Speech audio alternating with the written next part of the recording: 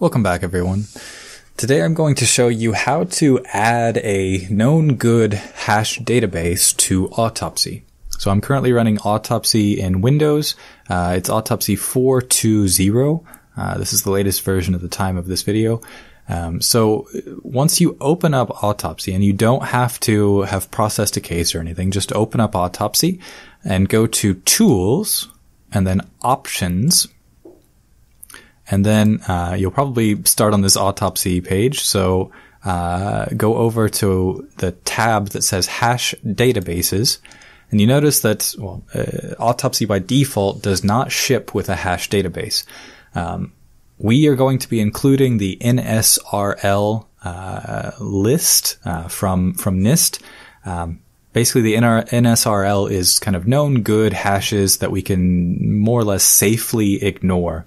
Um, so we're going to be adding the NSRL hash database, but um, I also use this quite often to create my own uh, hash database of interesting or just uh, known bad files. So sometimes known bad.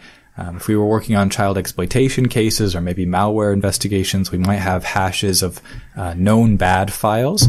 Um, uh, child exploitation, it's usually images, videos, things like that. And hashes are a very fast way to do filtering uh, in your cases. So they're really powerful, um, pretty easy to to manage and do once you get used to it. Um, but for some reason, a lot of people don't really use hash databases very much. Um, so yeah, I, I, strongly recommend using them. They're a very uh, useful tool to help us.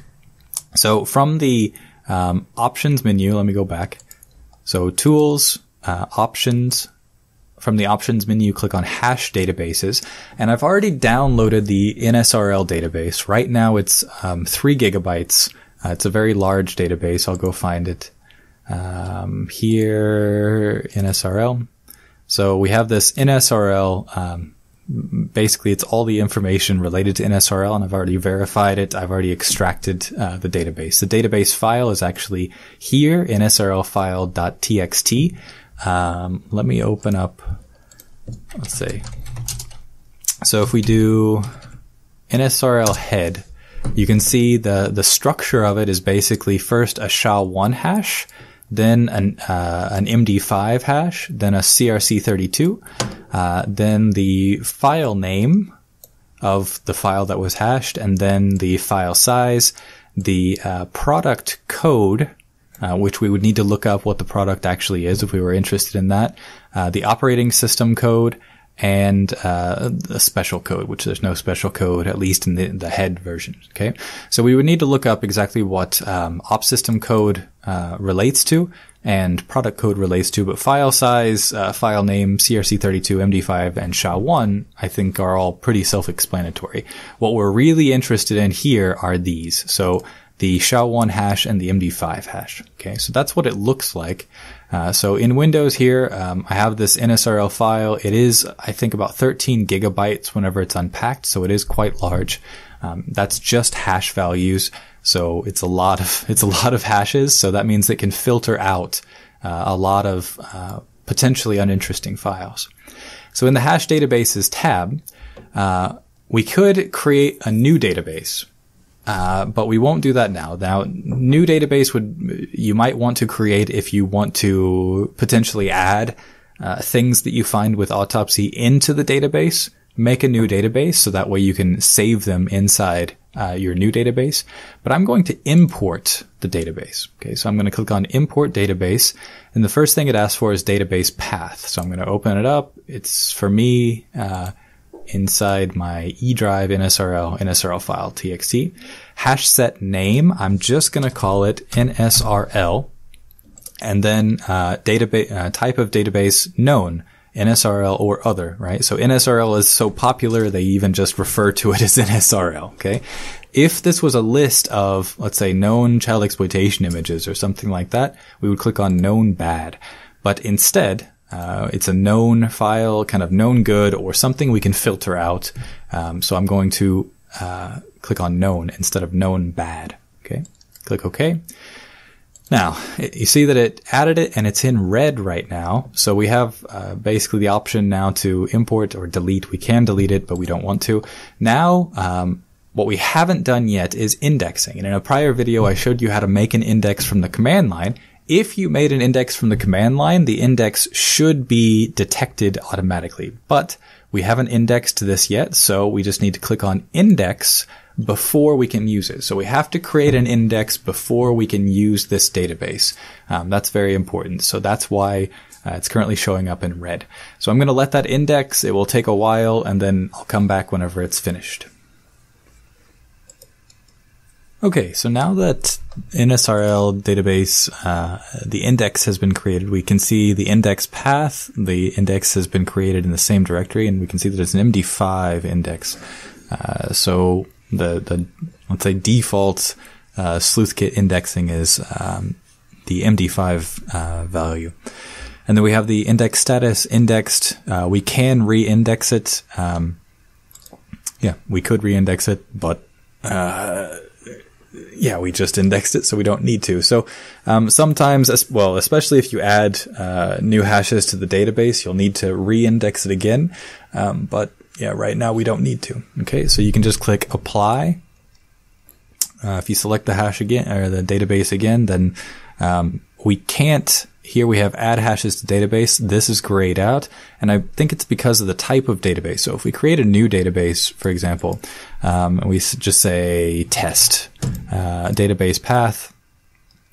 We can say hash databases test.kdb save and then let's say that they're uh, known bad. Okay, so then you click OK, and because we've created a new test uh, test database and it's KDB type, whereas NSRL is just .text type. Um, uh, KDB, we can add hashes to the database. So if we had um, basically a list of hashes. So for example, if I had, let me go back. Imagine that I have these hashes um, in a file. Uh, so let's just do that. Uh, head nsrl uh, awk awk is used to um, uh, basically filter out commands in in in Linux or filter out text in Linux. We can print. Uh, we want to print. Let's say two. Uh, dollar sign two. Okay, so this awk uh, f basically says to make uh, this the file delimiter and then print dollar sign two. So go find the second thing after the comma, um, which is the uh, MD5 hash hash value. Okay, so we can just print that out. But now that I look at it, I just realized that basically all of these are the same hash anyway. So I'm just going to copy one of them, um, and go go back and then uh, paste from clipboard, paste that hash in, and then add hashes to database one hash added successfully. Okay. So basically, there's a couple different ways. I'm going to delete this database. There's a couple different ways we can uh, create databases. Uh, there's a lot of hash databases that already exist that we want to import in. So for example, the NSRL, the known hash databases. There's also a lot of, uh, let's say, child exploitation hash, hash databases or peer-to-peer file sharing hash databases or uh, virus hash databases. So we could get those hash databases, import them, index them, and then uh, use them to automatically uh, process our, our, our, case. We can also keep our own hash databases locally.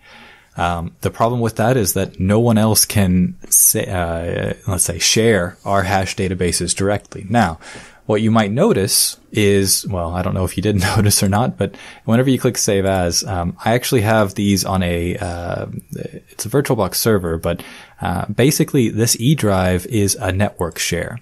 So what you could potentially do um, is share this database on uh, a network drive. I'm not sure how it would work with multiple uh, users trying to access the database at the same time, uh, but it's possible. Now, uh, Autopsy also has a multi-user mode, um, and I'll be talking more about that uh, later, how to set up multi-user mode. Um, but anyway, we're talking about hash databases now, and this is how you can set up uh, some of them. So we've already added NSRL. We can apply, click OK. Okay, and then I've already processed this case, but now I want to um, uh, basically rerun the the hash database was not included whenever I processed this this disk, so I want to rerun uh, the um, hash comparison module basically. So I can go to Tools and run ingest modules, select the disk again, and then a recent activity. Oh, I'm not sure if I'll be able to do this. So basically, I'm just going to deselect everything. Yeah, delete, deselect all except hash type identification. And yeah, let's see if I can actually start this or not. I'm not sure if I can.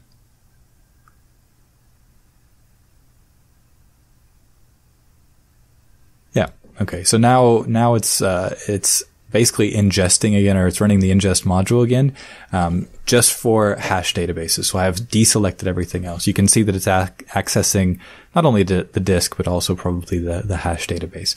So that's, uh, that's it for adding, uh, known hashes, known and, known good and known bad hashes to autopsy, um, and then making the index and then rerunning any modules um, now, whenever we start a new case in autopsy, if we select the hash data hash uh, tests as an ingest module, it will automatically run. So that's it for hashing. Thank you very much.